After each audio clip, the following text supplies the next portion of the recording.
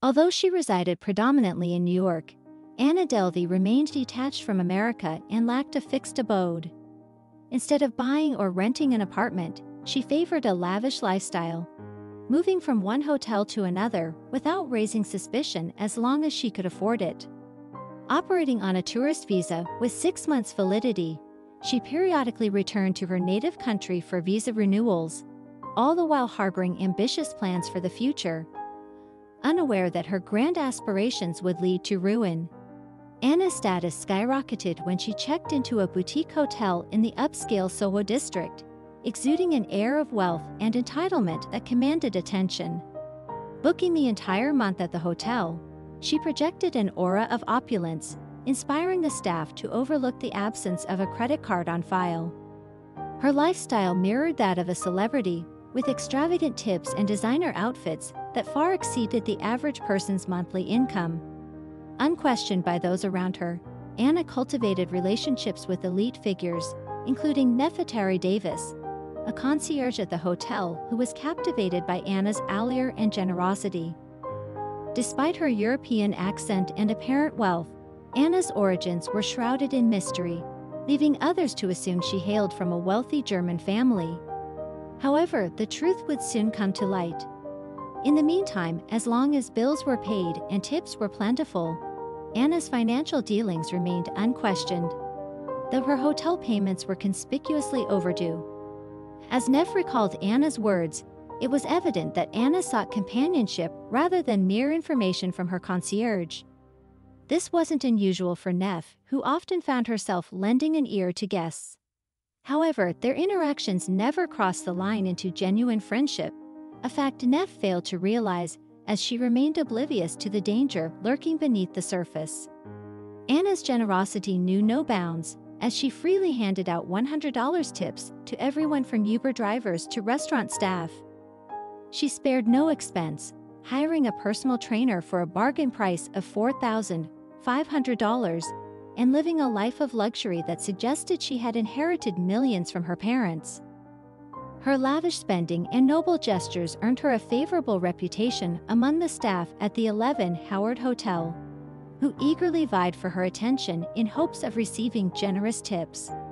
Always eager to help Neff, Anna treated her to extravagant outings and hosted elaborate dinners at upscale establishments like Le Coucou. These events were attended by CEOs, artists, and celebrities all carefully selected by Anna for their potential to further her ambitions. Neff found herself rubbing elbows with the likes of Macaulay Culkin at these gatherings, though she lamented missed opportunities to ask burning questions. Their friendship blossomed to the point where they embarked on a trip to Italy together to attend the Venice Biennale. Anna's request for Michael to make travel arrangements using his credit card raised eyebrows, but he complied nonetheless.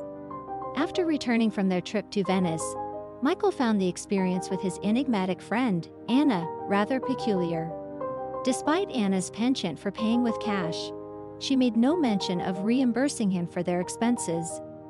Michael, accustomed to such situations, shrugged it off, given his comfortable financial situation. Anna spared no expense for her extravagant birthday bash, enlisting a PR firm to handle all the arrangements. She ensured that the guest list was brimming with familiar faces, including Michael. The party was a resounding success, but trouble loomed on the horizon. Days later, Michael received a call from the event organizers seeking Anna's contact information, signaling that she hadn't settled the bill. It was a wake up call, revealing cracks in Anna's facade of wealth and sophistication. Rumors about Anna's background swirled, with speculation ranging from her father's diplomatic ties to the oil industry or antique dealings in Germany. However, the truth proved to be far more elusive. As scrutiny intensified, Anna's mysterious source of income became the talk of the town, casting doubt on her true identity. Meanwhile, Anna pressed forward with plans to establish an exclusive art club, the Anna Delvey Foundation, enlisting a creative director to help realize her vision.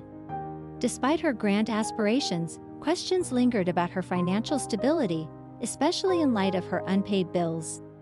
As she scouted locations for her venture and envisioned lavish renovations, the glaring discrepancy between her spending habits and her unpaid debts raised eyebrows.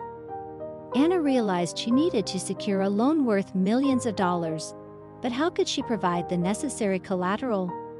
With her assets located outside the U.S., obtaining such a substantial loan seemed improbable for a newcomer without any established connections.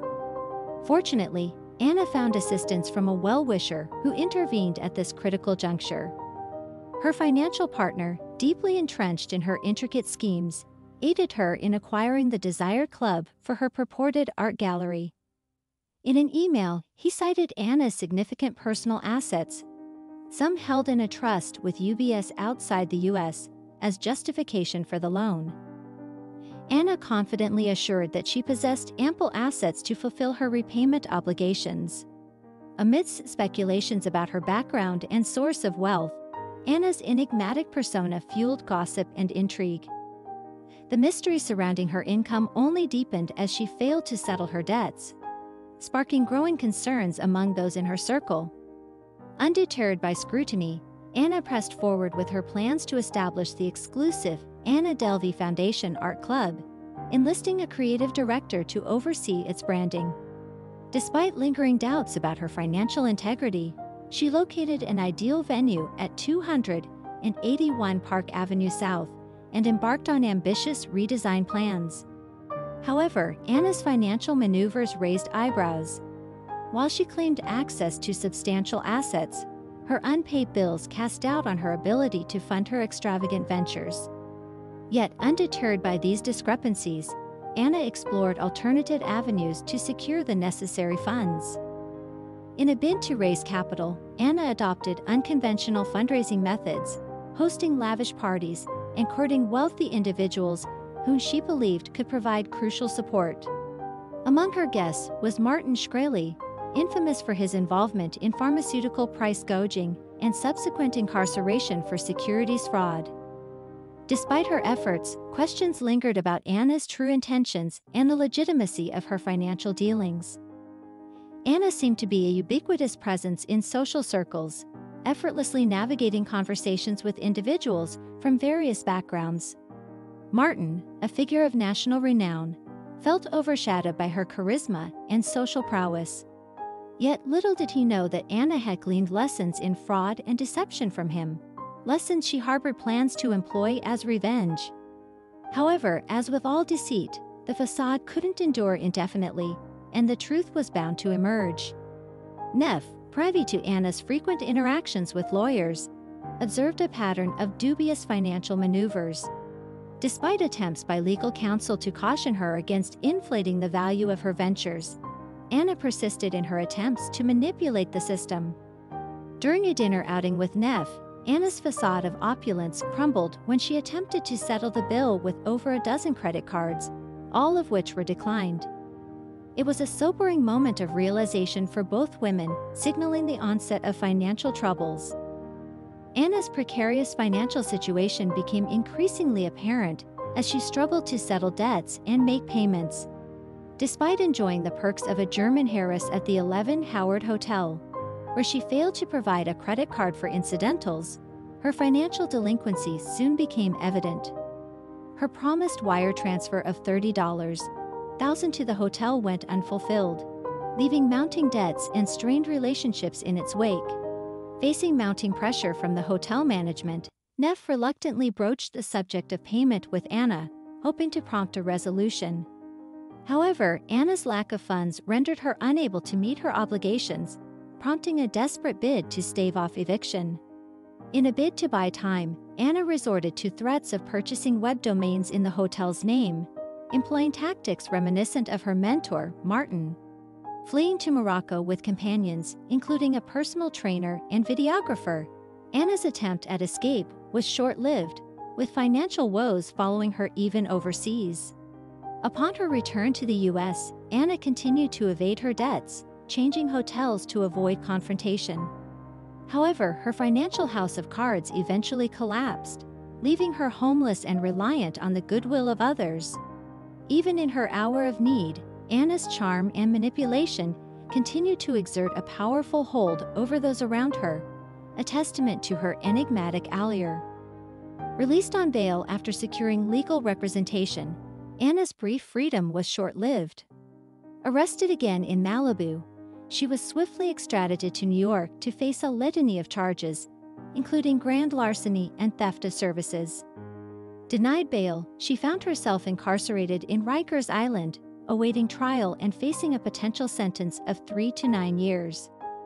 As details of her true identity emerged, it became evident that Anna Sorokin had spun a web of lies, fabricating tales of wealth and privilege. Born in 1991 and hailing from a middle-class family in Germany, her extravagant claims of offshore assets proved to be entirely fictitious. Despite her predicament, Anna appeared unfazed, even relishing the attention garnered by her exploits. In an interview from jail, she remarked on the experience as a sociological experiment, displaying a cavalier attitude towards her incarceration.